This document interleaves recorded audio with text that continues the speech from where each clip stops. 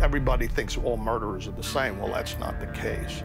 Oh, this guy was a sexually sadistic serial killer.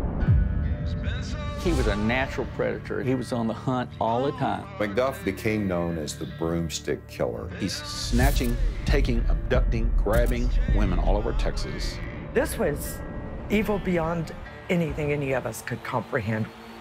McDuff's the convicted murderer who in 1966 was sentenced to die in the Texas electric chair.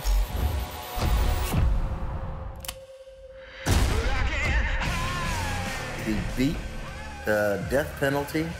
Something's wrong here. Who would ever imagine that anyone would ever release this man from prison? The corruption was so deep in the parole system.